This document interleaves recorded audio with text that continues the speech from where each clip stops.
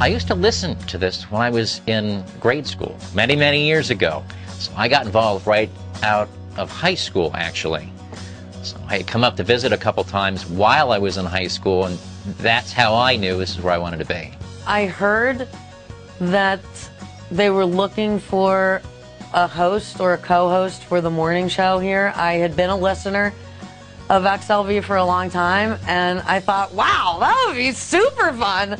So I came up and I, I did an open call audition, and I've been here ever since. The benefit of our station is that we also have a recording studio in the back, and we use that to our advantage to have live performances on the air, as well as offer services for recording from bands to promos to anything at all.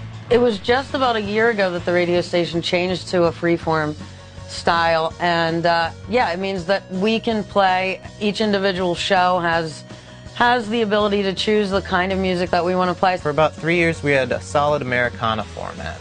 And when we switched, we got a lot of positive reviews on it. Uh, we started doing eclectic college radio, all sorts of diverse styles of music, freeform as we call it, which allows us to play anything and everything. The new format is great. It's actually, we, we let all of our DJs uh, decide what music they want to play. We try and position the times a little bit to kind of make it a little more consistent Say you're a really big jazz fan, you will know that at 9 o'clock on Tuesdays you can tune in and listen to three hours of jazz and uh, get a lot of insight from a very knowledgeable DJ about jazz. Or if you just want to listen to nonsense, you can tune in to me. And I think it makes for a really great listening experience because you're not listening to the same music all the time and you're exposing people who maybe would never have dreamed that you liked Latin samba music.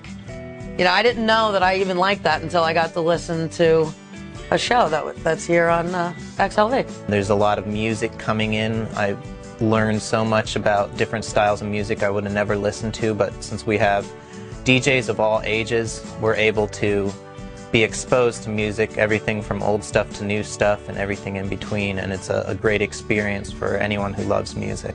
The new format working very well for us. I'm actually a student here at Tracy for a second time, came, came back as an adult, and we just did a marketing uh, program for the radio station in one of my classes.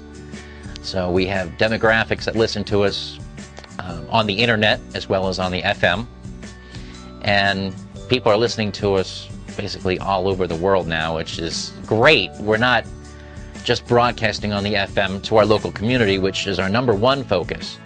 Uh, but we're also now marketing to everybody. I think our director, Harry Snodgrass, has definitely pushed our station to the forefront of new media. He's has so many different ways of reaching out to the community and to everyone listening through all of our different formats and ways of uh, playing our music. I think it's really important right now to have the new media have different ways of accessing our music because not everyone has a radio anymore and people listen to satellite radio and they're on the internet more and they need you know different ways to access i think technology has made some huge advancements as far as media is concerned and people have to have the opportunity to access it in any way they choose to nowadays everybody doesn't just do their show here. Everyone pitches in a little bit extra.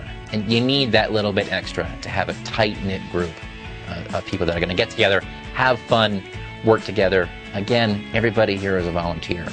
So without everyone giving their time, it just wouldn't happen. They've just provided me with a great opportunity to do something that I didn't even know I wanted to do. And it has just been it has just been a total blast every day. I just have so much fun.